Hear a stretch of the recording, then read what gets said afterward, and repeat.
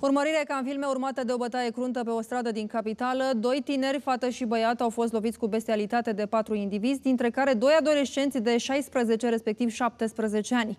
Astăzi, bătăușii cercetați și în alte dosare de lovire au fost săltați de polițiști. Vă avertizăm, urmează imagini care vă pot afecta emoțional.